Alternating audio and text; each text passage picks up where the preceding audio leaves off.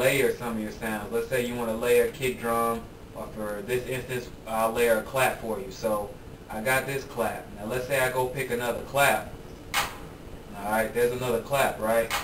Now I want this clap and this clap to both play together at the same time. I want to combine them. I want to layer them.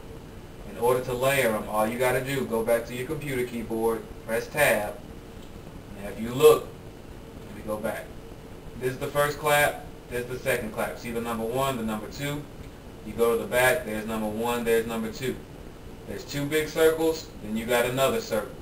Right under the two big circles, all you got to do is click with your mouse, and you can drag it over to this one. Now if you tab back over, these two are going to play together.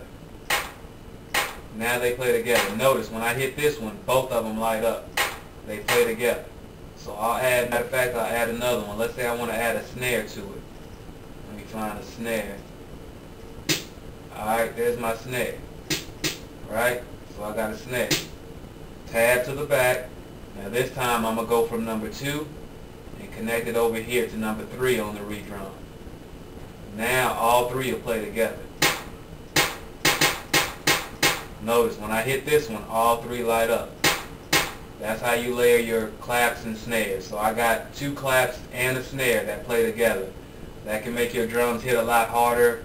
The effects and different things you can do, it'll really improve your drums if you start layering your stuff sometimes.